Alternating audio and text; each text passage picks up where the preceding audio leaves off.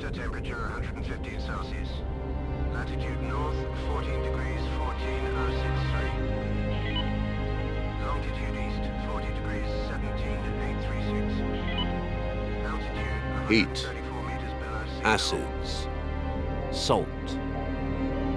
In the north of Ethiopia at Dallol can be found the most extreme conditions on Earth.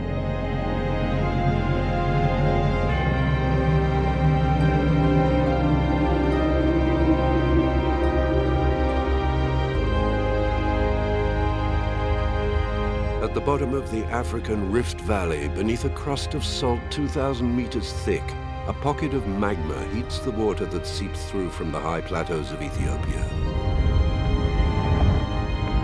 Loaded with minerals, the heated water rises back to the surface to form a dome of salt in the middle of the vast Danakil flatlands that measures five kilometers across east to west and three kilometers north to south. The Dallol Dome. In January 2016, for the first time, biologists, microbial ecologists, geologists, and crystallographers landed on this strange planet.